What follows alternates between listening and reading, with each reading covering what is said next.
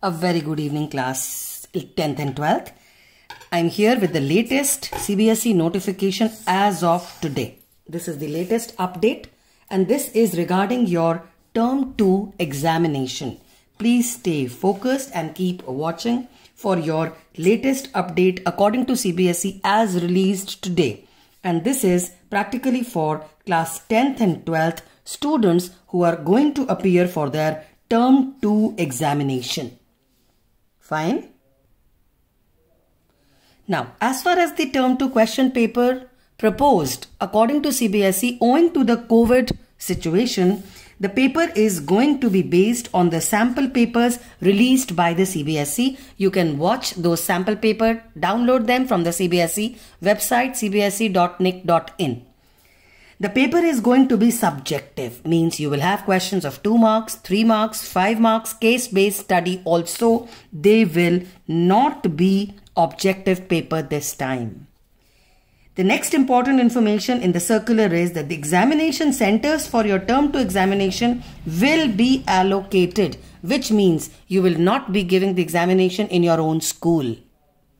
Lastly, the date sheet for the CBSE paper term 2 would only be available on the CBSE site. Please do not watch the other social media sites giving you the date sheet. The authentic date sheet is only at the CBSE site.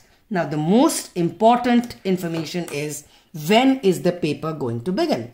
The paper proposed by the CBSE, the date proposed is 26th April 2022 which means from today if you check it out you have around 75 days.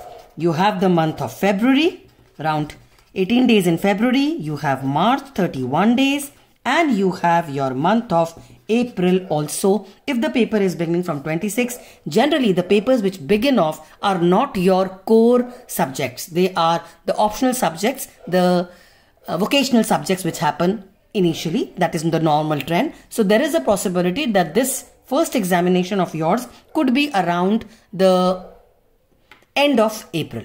Fine. So now please gear up for your examination. Work hard. You still have time. There is no need to panic. And you all will do awesomely well in your term 2 board examination I would keep sharing any more information that I get from the CBSE site for the help of class 10th and 12th students. Bless you loads. Do well in life. Stay happy. Stay safe. Bye.